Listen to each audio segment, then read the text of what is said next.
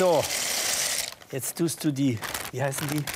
Orchette. Das. Öhrchen. Man kann auch Muschelnudeln sagen. Muschelnudeln. Willst du die noch einmal so ein bisschen umrühren? Und ähm, auf wie viele Minuten sollen wir einstellen? Ich hab ne- 14? 14? Ja. Wie kriege ich denn hier die Flamme ein bisschen höher? Äh, du, ich habe die ganz hochgestellt. Ist oben? Äh, das wird gleich kommen. Okay. So, Ja.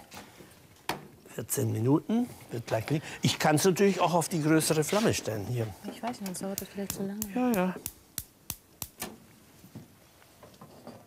Das ist nämlich eine relativ kleine und das ist ein großer Topf.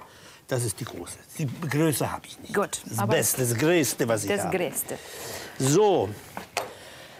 Das, was wird das nachher? Ein, ein Nudelsalat. Nudelsalat. Und zwar mit Rucola, Tomaten, Oliven, Essigöl und für dich ein bisschen Knoblauch, für mich ein bisschen mehr. Machst du zwei Versionen? Genau. Okay, ich mache ein Schweinegulasch mit Orange und Kardamom. Da geht das also erstmal los mit dem Olivenöl hier. Dann wird das Gulasch so ein bisschen angeschmort, also das Fleisch, Schweinefleisch, wird so ein bisschen angeschmort. Ich kann es gleich reintun, weil ich den Topf schon ein bisschen heiß gemacht habe. Ich bin ja kein so großer Asienkocher. Aber ich benutze, äh, äh, äh, wie heißt das? Na? Na, Gewürze aus Asien. Ja. Also zum Beispiel, oder das ist weniger asiatisch, Kardamom ist eigentlich mehr arabisch. Weißt du, und das ist so, das muss man so aufmachen. Und da ist dann drin, siehst du, diese Ja. kleinen Körner. Ach, die müssen Ja, raus. ja, ja, die müssen raus. Oh, ist nicht so schwierig. Kann man so rausmachen. So. Und das ist, also Kano habe ich hier schon drin. Und dann Fenchel. Ja. Und das werde ich jetzt mörsern. Du kannst beides auch schon gemahlen kaufen. Aber wenn Aber du ist die, nicht so- nie so intensiv. Am intensivsten sind die Körner, die ganzen Körner, wenn man die mörsert. Och, rühr du Ich mir das doch ein bisschen.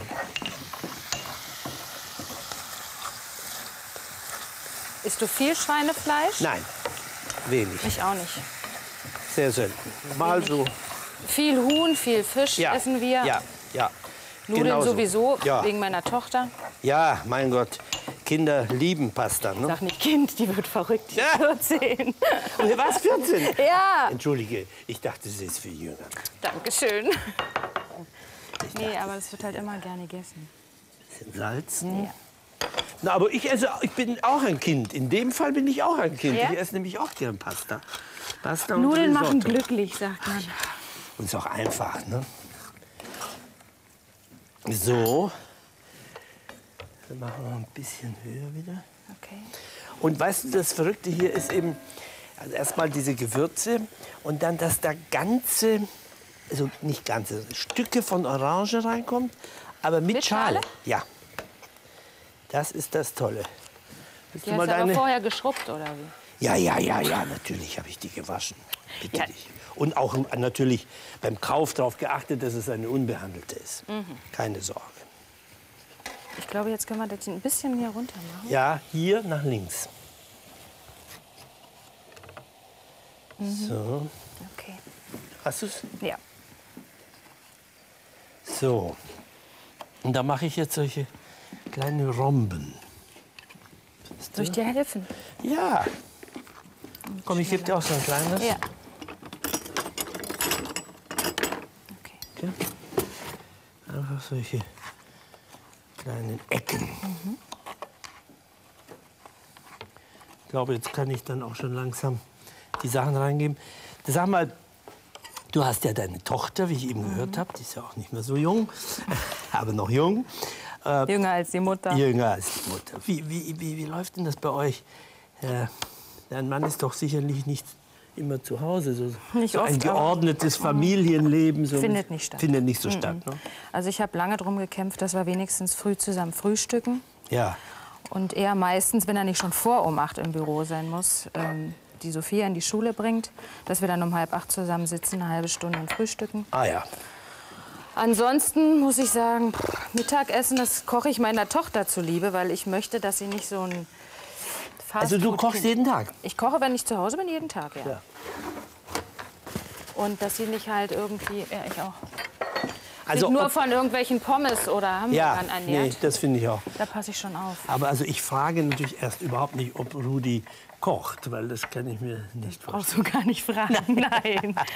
Er weiß gerade mal so, wo der Herd steht. Oh doch, na ja, ja, ja, ja. Ich war neulich bei einem Freund eingeladen. Da habe ich mich angekündigt, dass ich auf einen Café komme. Und dann hat er gesagt, wollen wir nicht lieber ein Glas Wein trinken? Das war so um zwei. Haben wir das gemacht. Als ich ging, hat er gesagt, bin so froh, dass du den Wein akzeptiert hast. Ich weiß nämlich nicht, wie man Kaffee kocht. Das gibt's. Es Ja. gibt, also, Ja, Sophia hat ihm mal, als ich unterwegs war, muss ja vorstellen, den Wasserkocher. Da hat sie ein Schild dran gemacht, bitte den roten Knopf drücken und hat die Tasse mit dem Teebeutel schon hingestellt. Das stand nach 14 Tagen immer noch. Stand noch da? Sag, äh, wo ist sie dann, wenn du drehst? Die ist bei meiner Freundin. Wo ist denn der Mülleimer? Da, das Loch, das Ach, da, stimmt ja. Die ist bei meiner Freundin. Ah ja, Meine Freundin hat drei Kinder, Ah. Hund und Mann. Und dann nimmt sie mein die- Kind auch noch und, und so Hund. schön. Ja, super. Ja, und dann ist Sophia mal in einer Großfamilie, Ja, ja, da wird natürlich ganz anders gekocht. Da habe ich immer so Mickey Maus Portionen, wenn die mal so Buletten macht oder so, so ein Trog ist, Da lacht die sich tot, wenn du einkaufst. Einen kleinen. Darf ich dir schon einen kleinen Küchenwein anbieten? Ich bin noch nicht zum Kochen hier. Sehr gut, Gott sei Dank, dass du das auch so siehst. Ein Motzenbäcker, ein Riesling aus der Pfalz. Kabinett trocken, wunderbar Ruppertsberger Nuss, Bien. Schöner, leichter, wunderbar Riesling, den ich sehr schätze. Ja, Riesling trinke ich auch gerne. Ist schön, angenehm leicht. Bitte. Dankeschön. Prost. Ja, das doch kann man haben. Kann man haben. Lecker. So, jetzt tue ich mal die, meine Kardamom und Kochen wir Fenchel. Auch, die ich zu klein gemacht. Nee, sie kochen. So, was habe ich noch? Das kommt erst nachher rein. Kann ich noch was Äh, ich schreibe mir das ja, wenn es ein bisschen komplizierter ist, immer in mein schönes Buch. Und dann gucke ich, was ich dann. Also, das muss ich dann irgendwann aus dem Bräter nehmen, das Fleisch wieder. Und dann kommen die Schalotten, die Orangenstücke, alles das. Gut, das mache ich jetzt mal. Hast du eigentlich schon früher immer gekocht, als Kind oder so? Nein, nein, nein. Zu Hause hat Mutti immer gekocht. Und aber ich muss sagen, seit vielen, vielen Jahren hat er meine Mutter aus der, mein Vater meine Mutter aus der Küche verdrängt. Nee. Jedes Weihnachtsfest und so, Papa kocht. Ja. Leidenschaftlich gern. Ja. Er kocht auch immer sehr lange. Das dauert Stunden. Und kann ich irgendwas machen? Ich Nö, ich hol's jetzt raus. Okay. Lass aber, hab jetzt mich entschieden für diesen, für diesen, dieses Instrument, damit ein bisschen von dem Saft drin bleibt. weißt du. Und der Papa kocht, richtig? Und Papa kocht. Toll. Mhm. Mutti hat jetzt wieder erst ein bisschen angefangen, weil sie ihre Ernährung umgestellt hat. Und Papa hat immer sehr deftig gekocht. Mit viel, Oh, das tun wir weg. mit viel Butter und so. Und Mama wollte abnehmen. Und dann hat sie gesagt, so jetzt lass mich mal. Und hat aber auch so 15 Kilo abgenommen. Oh, wie Also schön. Und was kochst du so? Also, du hast schon Schnelle gesagt, Küche. Pasta, schnelle Küche. Ja, also ich mache nicht so gerne diese Langgerichte. Ich mache viel so Nudeln oder ich improvisiere viel Hühnchen. Und wenn ich irgendwo getrocknete Aprikosen habe, dann schnipple ich die da mit rein und ein bisschen Orangensaft. Was mir so dann im, im Kühlschrank entgegenfällt. Ja, das ist ja auch einfach. Ja, gerade wenn es schnell gehen muss und so, ist das ja das Beste. Ja, aber so, so, so lange Gerichte ist nicht mein. Da bin ich nicht so der Fachmann. Das kann der Papa dann. Der macht dann den, den Lieblingsgulasch meiner Tochter. Immer wenn wir Und die hinfahren. freut sich dann. Dann sagt sie, Opa, machst du mir den Gulasch? Dann ist es halt Opas Gulasch. Und geht ihr dann auch viel essen? Ja. Ja. Wir gehen viel Mit dem essen. Rudi. Ja. Also ich kann mich noch erinnern, als ich mit dem Rudi relativ frisch zusammen war und dann hatte ich, wollte ich natürlich meine hausfraulichen Fähigkeiten unter Beweis stellen und habe schön gekocht. Ja. Und er kam und hat gesagt, sag mal, wo hast du das geholt? das Auf die Idee kam er gar nicht, dass du es gemacht nein. hast. Die Küche war auch zum Benutzen, man will es nicht glauben. Also, Ja. Hat er aber eine schöne Küche. Oder? ja, natürlich hatte, aber es war alles irgendwie noch nie, Nie benutzt. nie benutzt. Ja, ja, also ich koche jetzt. Ich habe schon immer gekocht. Aber seit ich die Alfredissimo mache, koche ich noch viel mehr als früher. Ja? Ja, von zehnmal essen bestimmt achtmal kochen und zweimal essen. Nee, das ist bei uns nicht so. Wir gehen öfter essen. Ja. Kann man gut in Gelsenkirchen. Du bist doch eigentlich Berlinerin. In Leipzig geboren, In Leipzig geboren und Geboren, dann ne? in Berlin und, dann Potsdam Berlin. groß geworden, Und Berlin jetzt- studiert. und jetzt Gelsenkirchen. Ich meine, das ist ja. Ey, hör mal. Ja, ja, das ist Mach doch ein- keinen Scheiß, das ist nein, schön da. nein, ich wollte nicht sagen Gelsenkirchen. Nur was für, was für ein Unterschied. Das meine. Ja, das ist aber ist gar nicht so schlimm. Ist nicht so schlimm. Nein. Gelsenkirchen ist im Grunde wie in, im Ruhrgebiet wie so ein Stadtteil in Berlin.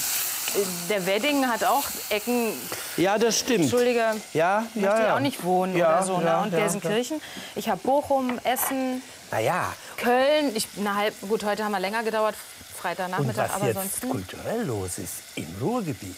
Ruhrtriennale, Ruhrfestspiele. Sowieso. Die ganzen, du kannst Die ja ganzen in, Arenen, Oberhausen, Gru- in Köln, Im bei uns die Prinzip hast du wie in Berlin, in, da, da fährt man ja auch manchmal ganz schön. Ich bin neulich zum Hals-Nasen-Ohrenarzt äh, vom Prenzlauer Berg eine Dreiviertelstunde Natürlich. gefahren im Auto. Also so gesehen ist das schon sehr ähnlich. Ja, und die Menschen sind dort ganz toll. Menschen sind toll im Ruhrgebiet, das glaube ich. Die sind hilfsbereit, Ja, das glaube ich. Weil sie ja auch nie so verwöhnt waren, ne? weißt du? Ja, Die so, jetzt. Knoblauch. Wie viel machst du rein? Guck mal, ich tue ziemlich viel. Oder da kann ich ja auch noch Weil ich, naja, nein, das habe ich jetzt dir zuliebe gemacht. Und du machst mir Okay, dann zuliebe etwas zuliebe weniger da weniger. rein. Gut, in Ah, mein Lieber. So, äh, 200 Milliliter Brühe, jawohl. Und äh, was haben wir da noch? Sherry. 75 Milliliter Sherry, das mache ich in dem kleinen. Äh, 75, ja. Sherry. Und zwei Esslöffel Sojasauce. Da muss man ein bisschen vorsichtig sein. In dem Originalrezept waren vier Esslöffel. Und das hat dann so intensiv doch nach Soja geschmeckt. Ich mache das jetzt mit zwei. So, wenn du dies liebenswürdigerweise Ja. zumachst. So. Und das Ganze, guck mal, wie schön das schon auch aussieht. Ne? Ja. Das muss jetzt ähm, 35 Minuten, da kommt Deckel drauf. Und das tue ich jetzt aber auf diese kleine Flamme hier.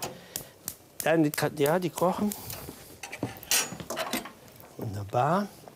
Die müssen aber So. schon noch ein bisschen. Ich bin fertig, denn ich habe ein zweites hinten, das hole ich nachher zum Essen. Ja. Und dann, das muss jetzt auch Leuten sofort, sofort, bisschen. müssen noch. Hm. Wenn man die Zeit einstellt, die auf der Packung steht, Hm. muss man meistens noch ein, zwei Minuten länger. machen. Du kannst aber anfangen, hier Ja, ich fange schon an. schon. Oh, die Lorbeerblätter. Ui, da kriege ich Schimpfe vom Klaus. Jetzt? Wenn ich keine Lorbeerblätter rein tue.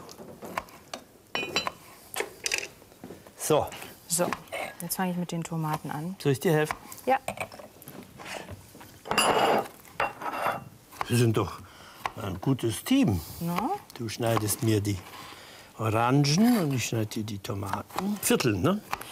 ja Achteln? kannst du machen. Je nach Größe, aber die sind relativ gleich groß. Ich mache immer drei aus einmal einer Hälfte. Das heißt dann sechs, glaube Gut. ich. Sechstel. Moment, also. Aber einmal halbieren. Mach ne? einfach Und dann klein, so. nicht in die Ja. Finger schneiden. Nee. Vorsicht. So. Und was ich auch mache, muss ich zugestehen, bediene mich manchmal der Tiefkühlkost. Du, warum nicht? Weil dann so jeden Tag Schnelle? frisch einkaufen Nee, nee, und, so. nee, und dann, wenn es mal regnet. Und ich muss dir auch, so du meinst jetzt nicht der Fertigkost, der Tiefkühl Nein, nein, nein, nein, der nein. Tiefkühlwaren. Tiefkühlware. Also Du, da gibt es eine ganze Reihe Sachen, die sind super, genauso gut oder Ja. besser. Himbeeren zum Beispiel. Erdbeeren finde ich nicht so gut. tiefgekühlt, Erdbeeren schmecken Aber Mhm. Himbeeren sind ganz toll. Äh, Spinat ist sehr gut. Ja. Klar, wenn man einen ganz frischen macht, ist immer noch mal ein kleiner Tick feiner. Aber es ist schon, äh, man kann schon sehr viele Sachen sehr, sehr gut tiefgekühlt machen. Mache ich auch. so. Soll ich noch mal probieren? Und bist du eigentlich eine Rezeptkocherin oder improvisierst du? Manchmal, wenn mir was gefällt, höre ich zu, versuche es mir zu merken, aber ich halte mich meistens nicht Aber so du, dran. also ich koche ja mit dem Kochbuch so richtig. Nee. Wo ich, da, ich gucke ja jeden Schritt und alles. Nee, das mache ich nicht. Ist nicht halt. Nicht? Also, da bist du aber unempfindlich. Ich habe Hornhaut auf dem. Oh. Sehr schön.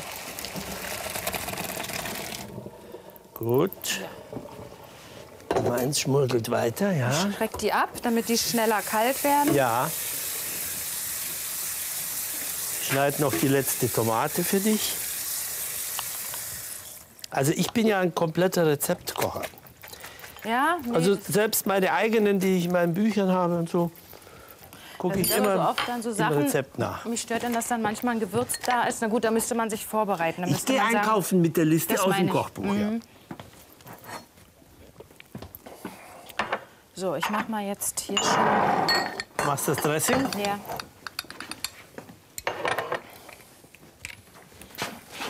Löffel? ja. Okay. Olivenöl. Ja.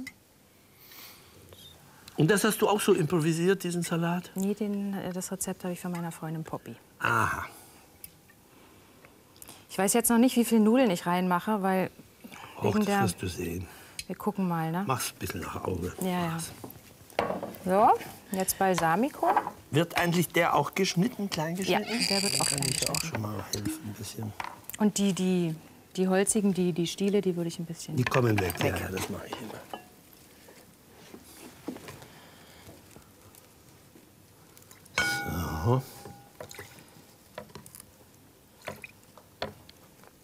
Und wenn die, die Kleine mit, geht die mit ins Restaurant?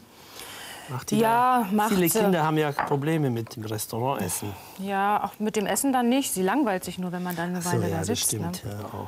Dann nimmt sie entweder ihren Discman mit oder, wenn ich Glück habe, mal ein Buch. Ja. So, ich mache jetzt eine Knoblauchzehe rein, ja? Ja.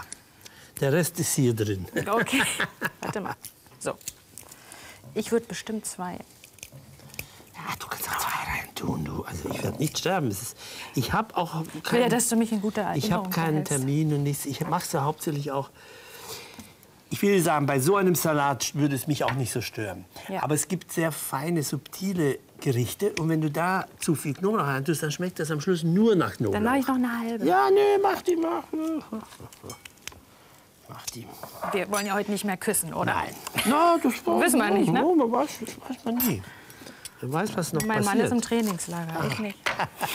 Ist das so richtig die Größe oder kleiner? Ne, so ist gut. Wo haben wir Pfeffer? Hier, Du hast den? ich habe ja vorhin schon meinen Topf gesalzen und gepfeffert. Ordentlich. Kann man auch noch nachpfeffern. Ja, der Wenn er fertig ist, dann dem, muss der sowieso noch. auf äh, dem Teller dann.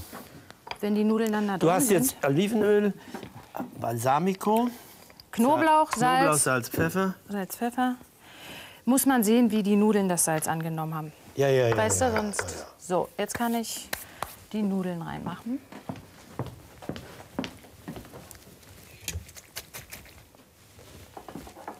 Der sieht schön aus, der Rucola. Da. Ja, ich glaube nicht alle, oder? Nee, nee. Jetzt gibt's Flecken. Das Reinigungsgewerbe will auch leben. Aber es muss nicht so wild sein. So. Ich, das Auge ist ja doch mit, ne? Ja. Das sieht doch schön aus. Toll. Toll, wenn jetzt das Grün noch kommt. Und dann habe ich schon die Oliven hier klein geschnitten, dunkle Oliven. Schön. Die kommen auch da rein. Man soll ja immer welche mit Stein kaufen, aber ich finde das immer so mühsam. Oh, ich kaufe dann doch meistens die Ja. Mhm. ohne Stein. Die Köche sagen ja, die sind besser mit Stein. Ja, und warum? Weiß ich nicht warum. Keine Ahnung. Genauso soll Knoblauch nicht riechen, wenn man den, den Kern innen raus macht. Das ist aber auch Quatsch. Das ist auch Quatsch. Ja. Ich habe nie gehört, ja? So. Noch ein Das bisschen, riecht schon schön bisschen mehr. Ja, ist der Knoblauch natürlich. so, das packe ich da mhm. rein. Das kommt einfach rein, ne? Ja.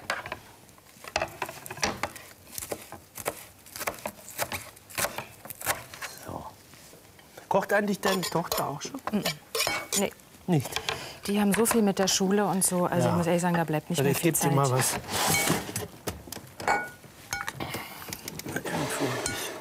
Suchst du? Größe. Ach so. Hier. Oh, ist ein bisschen zickig. Komm her, ich. Ich hab's doch. Schau, Äh, Ich habe irgendwo so ein. Ja, das habe ich gesucht. Ja. Wo hast du das gefunden? das lag da. Zufällig. So. Obwohl ich ja sagen muss, ich esse auch sehr gerne deftig. Also Ja, in München dürf, Hausmannsgans? oh, ich dürfte nicht in München wohnen. Ich wäre verloren. Ja. So, jetzt nehme ich mal meinen fertigen Schweinshax, also Haxen und so Sachen. Ne? Ja, Haxen, früh Weißwurst. Ich kann auch früh schon Spaghetti Aglio Olio essen. Oh, Ja, morgens würdest du das schon? Aber kein Marmeladenbrötchen. Bist du gar keine Süßesserin? Gar nicht. Na, dann sei doch Ich froh. koste jetzt mal hier. Ja, sei Wenn ich froh. das Last da auch noch hätte. Ja, eben. Denn, also ich muss sagen, Hm? Wenn ich mal das Süße alles weglasse, ich bin kein großer Süßesser, aber so ein bisschen schon. Und wenn ich Kannst das du mich alles nicht hinterm Ofen folgen. weglasse, dann nehme ich ein bisschen ab. Das gibt ja Leute, die gucken ja nur ins Schaufenster von der Konditorei und werden schon dick und dann legen sich schon Na gut, wenn ich keinen Sport machen würde, so essen, was ich will, kann ich auch nicht. Ja? Der muss jetzt durchziehen. Ja. Sag, und der, der, du sagst, der Rudi ist im, im Trainingslager. Mhm. Das ist Schalke 04, die sind jetzt irgendwo unterwegs und bereiten sich vor und da muss er mit. Da muss er mit, falls es noch Probleme gibt. Als Manager. Ohne ihn rollt der Bein nicht. Nee, ist klar. so, dann essen wir zuerst einen Salat. Ja. Der ist jetzt noch lauwarm. Du hast ja einen Kann man auch essen, gemacht. aber ich, vielleicht der ist ein bisschen durchgezogen. durchgezogen. Ich glaube, das ist ganz schön.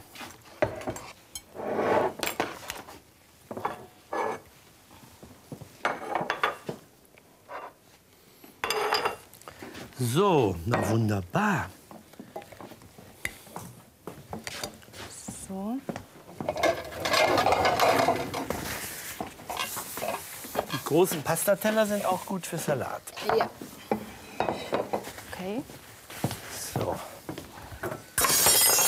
Ups. Zambo. Alles klar. Bringen uns noch ein bisschen Wein. Oh, mir ist warm. Na bitte, aber wir haben doch alles schön hingekriegt. Jetzt tu noch ein bisschen Wein rein.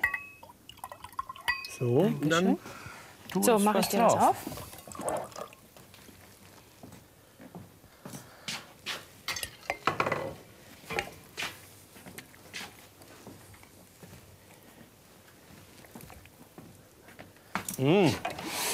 Also ich muss sagen, schon gut aus, ne? optisch ganz toll.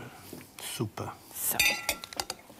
Ganz toll. Mm, Wollen wir? ja, ich bin ja schon gespannt. Ich kenne ihn ja. Sag nicht interessant. Mm, nein, guck mal. Lecker, ne? lecker.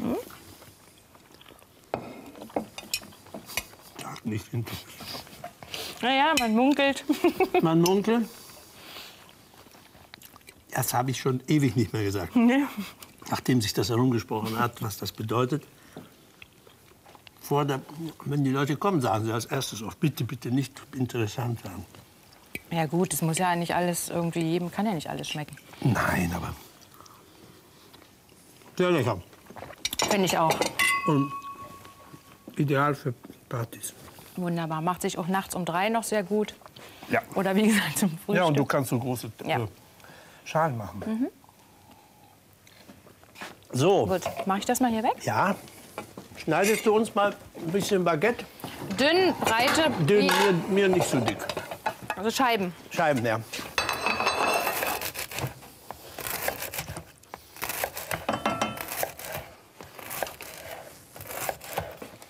So, Einfach aufs, auf den Teller. du ja, einfach auf den Teller. Ja, wunderbar. Perfekt.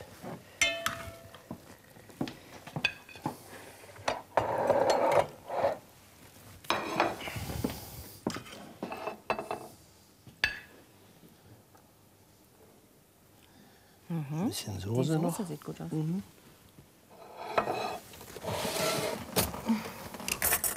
Gabel reicht? Ja.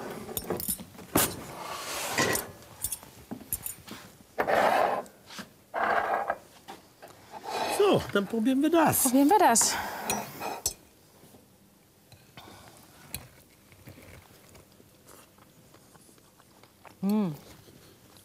So kann man auch mal an Schweinefleisch essen. Köstlich.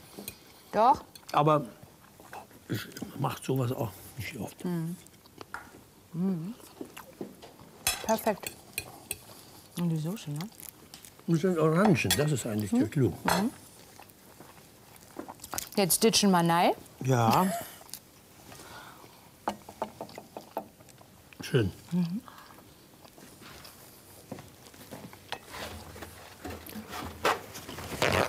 Perfekt. Unsere tollen Servietten.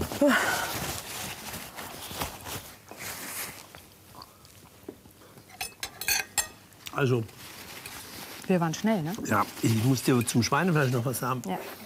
Inzwischen gibt es so gutes Bio-Schweinefleisch beim, beim Biometzger und auch in diesen neuen Bio-Supermärkten und so. Es ist, Ist überall Bio drin, wo Bio ich draufsteht? glaube ja. Also ich habe festgestellt, also gerade beim Schwein haben sie sich wahnsinnig Mühe gegeben. Das war ja das miserabelste Fleisch Das hast überhaupt. du in der Pfanne gehabt, das wurde immer. Furchtbar. Es ist heute leichter, ein gutes Schweinefleisch zu bekommen, als ein gutes Kalbfleisch. Aber ich esse, wenn, wenn ich dunkles Fleisch esse, meistens Lamm. Und sonst auch, wie du sagst, Geflügel und Fisch. Und wo holst du den Fisch? Ähm, in großen Fischläden oder Kaufhof, Aber Karstadt. vom und so. Markt? Ich bin ja kein Markteinkäufer. Das Ja, doch. Immer, ja? In, in Berlin, ich bin ja jetzt auch viel in Berlin, da kaufe ich am Markt. Hier weniger in Köln. Aber ist schön. Passt schön dazu, Lecker. zu den Orangen.